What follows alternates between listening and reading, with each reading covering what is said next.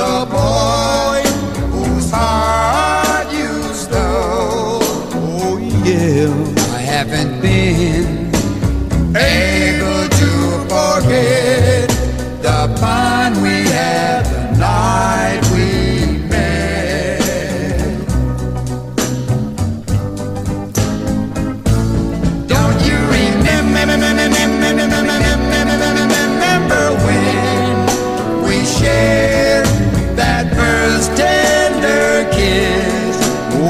yeah. I still recall.